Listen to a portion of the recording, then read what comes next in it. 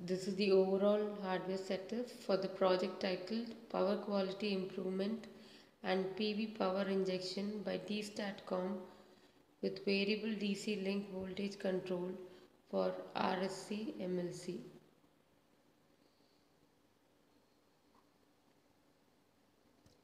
The input to this circuit is solar.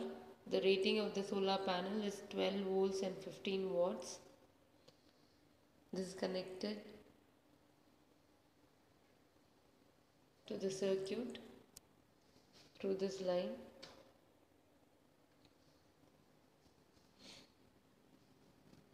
The first block here is the high gain DC to DC converter plus RSC MLC converter. Both are embedded in this block DC to DC converter and RSC MLC converter. These four switches together with these two capacitor form the four switch three phase inverter.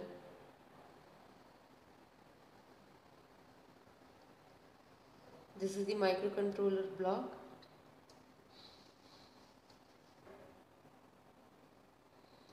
Since the current gain of the microcontroller is less, we are using a buffer to amplify the current.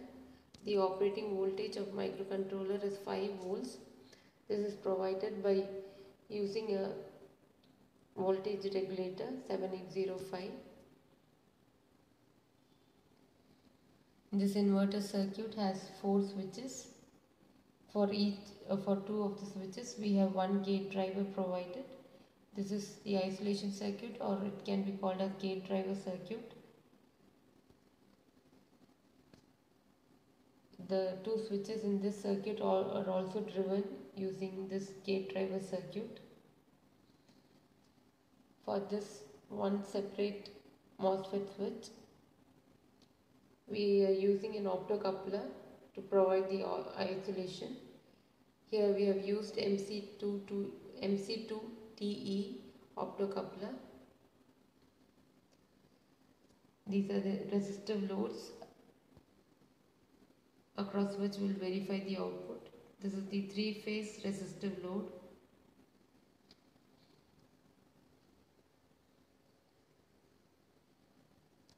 On the right side, we have designed a transmission line. We have used a transformer for this and this is the resistive load across which will verify the output. We have connected the line to an LED to show how the line is, whether there is any sag or any other problem in the line and this can be controlled using a pot. Now we'll switch on the circuit and see how it operates. We have switched on the circuit and we can see the LEDs glowing. This shows that the circuit is working properly. We have connected the probes of the multimeter at the input point.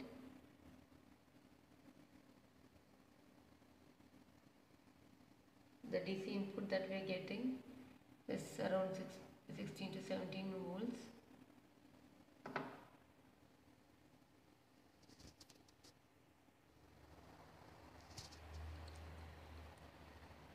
The output point of the RC MLC converter, we have connected the probes and we can see that the output is high.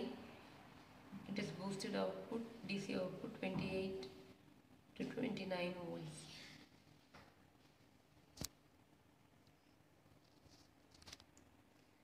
We have connected the probes of the DSO across the resistive loads, three phase resistive load as shown here and the output that we are getting is three phase output.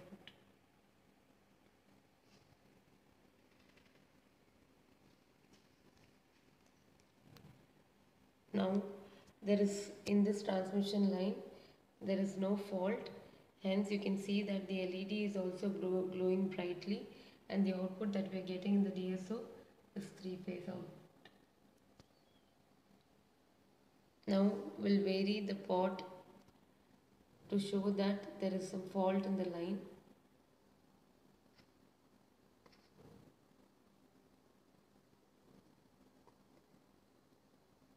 As we vary the pot slowly, we can see that the LED is glowing dimly.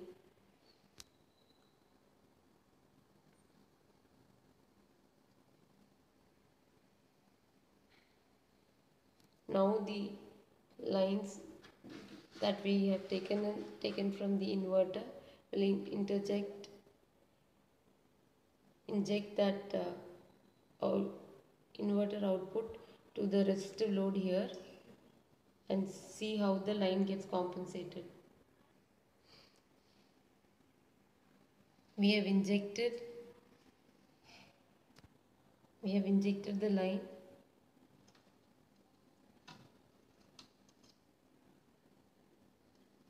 as we inject the line we can see that the LED is glowing brightly.